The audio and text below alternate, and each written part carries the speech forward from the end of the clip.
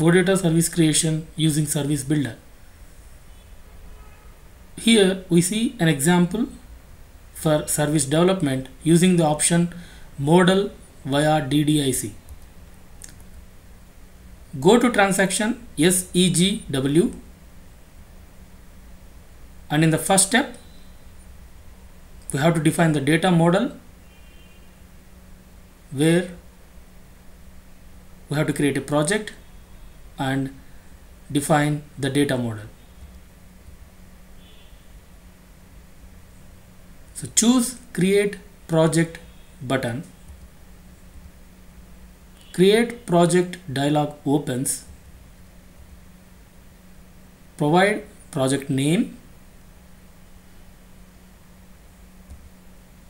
description, project type, generation strategy and package as dollar $TMP for local development person responsible and continue with local object. We see project created with subnodes data model service implementation runtime artifacts and service maintenance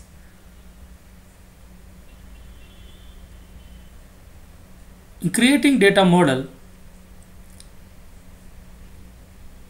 importing data model via DDIC. For this, right click on data model, choose import and choose DDIC structure.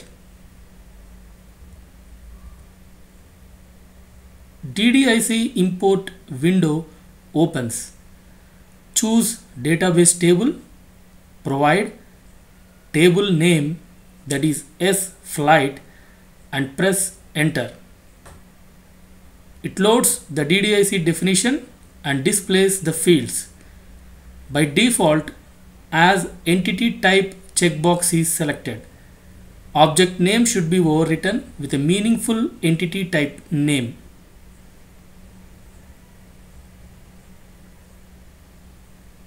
client field or mandate is not required. So select ignore for this in usage column and select key or property for other fields as needed. Provide meaningful names for properties in name column. Other columns are read only. Press enter and the corresponding entity type is created can repeat these steps many times to add more entity types.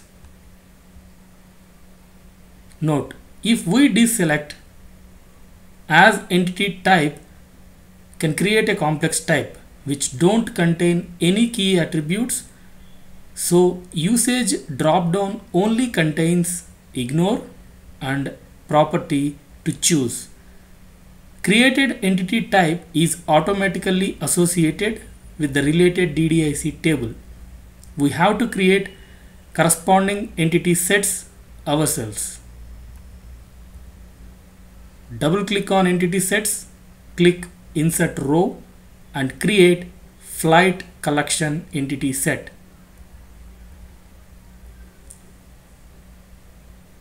And the second step is service registration. Click generate runtime objects button.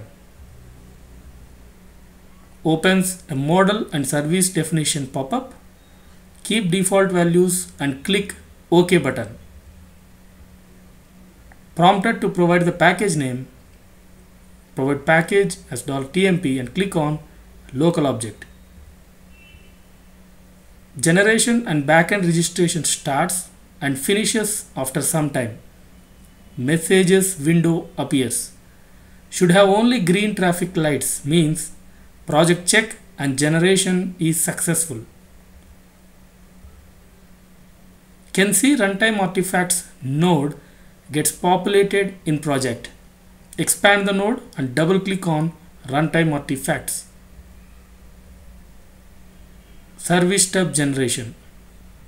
Expand the runtime artifacts node right click on the DPC class and select go to ABAP workbench.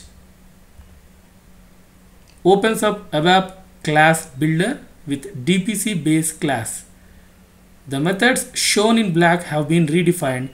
This takes place every time you generate your project.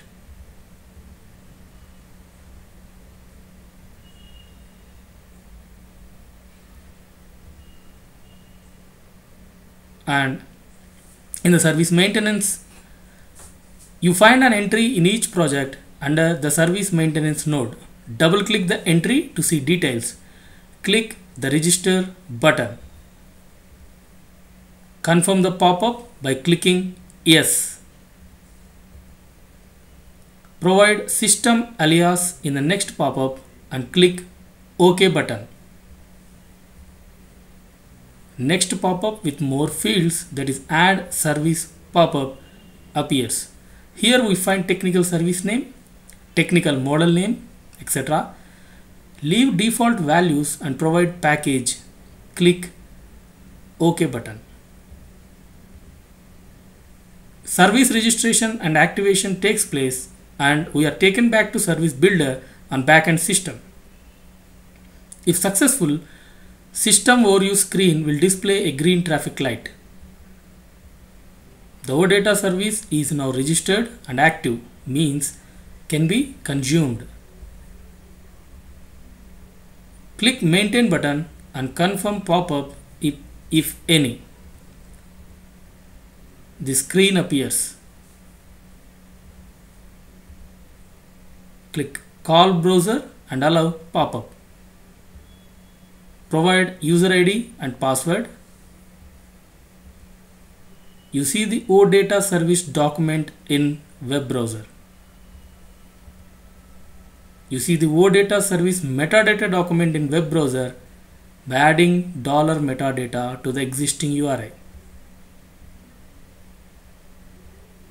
That was a service development example using the option model via DDIC. In the next video, we'll see the detailed service generation that is RFC BOR generation. Thank you.